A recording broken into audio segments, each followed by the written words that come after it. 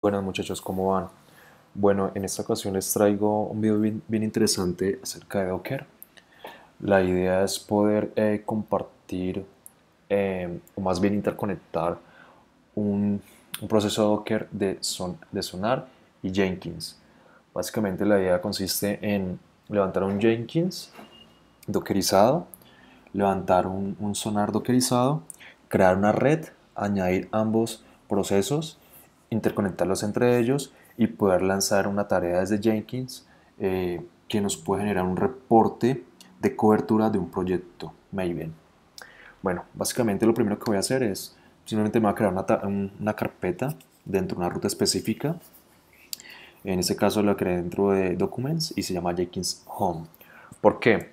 Porque cuando creamos un proceso Docker, eh, básicamente esa se sube y se construye y, se, y tú lo puedes tirar y destruirlo y se te pierde la información. Digamos que la idea es montar un servidor en Jenkins y que toda esa información, los plugins, toda la configuración que hagamos en este servidor, la podemos persistir en algún lado. Entonces, bueno, aquí tengo la carpeta. Eh, digamos que por ahora no tengo nada. Entonces lo que vamos a hacer es, primero vamos a descargarnos la imagen de, de Jenkins. Eh, para eso hacemos docker Pool Jenkins. Eh, como ya hace poquito las cargué, pues fue muy rápido. El válida que ya tenga la última imagen y, no hace nada. A ustedes puede que, si no la tienen, se le demore un poco más. Una vez tengamos la imagen, vamos a iniciar nuestro servidor Jenkins con, la siguiente, eh, con el siguiente comando. Básicamente el comando run nos, nos, crea una nueva, de, a partir de esa imagen nos crea un nuevo contenedor el menos menos name es como vamos a distinguir a nuestro proceso, en este caso se va a llamar MyJenkins. El menos P son los puertos que vamos a usar, es decir, vamos a exponer el puerto 8080. El menos B, estamos diciendo que básicamente eh, es como utilizar un volumen. Vamos a poner que todo lo que hagamos eh, dentro del contenedor sea mapeado a nuestro volumen, a un volumen específico de nuestra máquina, ¿no? Y, pues toda la información, todo lo que tengamos eh, pueda ser salvado y persistido en, en otra parte que, que, no sea el contenedor como tal, porque recuerden que si se, matamos el contenedor, cerramos el contenedor, nuestras configuraciones se pueden perder. Y básicamente al final pues le decimos el nombre y la imagen que vamos a usar para crear esa instancia del, eh, del contenedor. Entonces damos Enter y va a iniciar.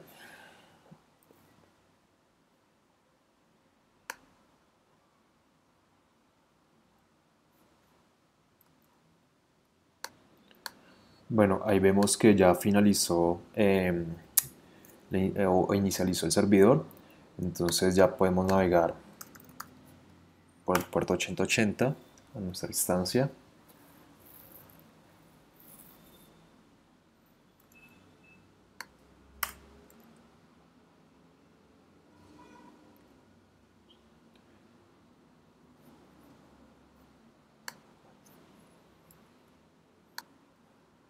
Eh, bueno, se demora un poco, pero ya subió. Entonces, en este administrator password, vamos a básicamente a copiar este password que está acá.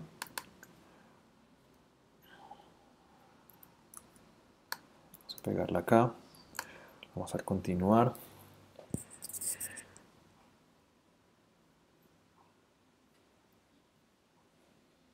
Acá vamos a instalar los plugins, los plugins sugeridos.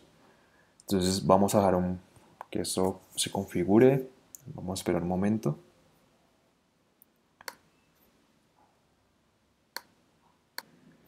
Bueno, ahí finalizamos con la instalación. Eh, vamos aquí de rapidez a continuar como administrador. Y le decimos Start using Jenkins. Bueno, ya tenemos nuestro, eh, nuestro Jenkins eh, instalado y funcionando. Ahora bien, vamos a realizar un par de configuraciones em, para el sonar. Ok, aquí parece que hay unos problemas con algunos uh, plugins. Bueno, ahorita miramos cómo lo corregimos. Eh, vamos a, bueno, las instrucciones del archivo. Dice que vamos a configurar el sistema, configuración del sistema.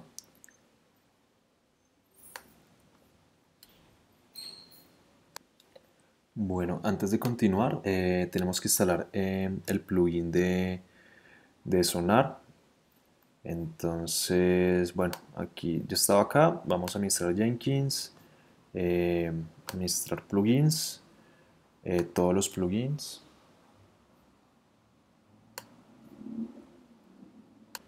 Una vez ahí, vamos a filtrar por Sonar Scanner. Sonar Sonar Scanner, le damos instalar sin reiniciar y esperamos un momento.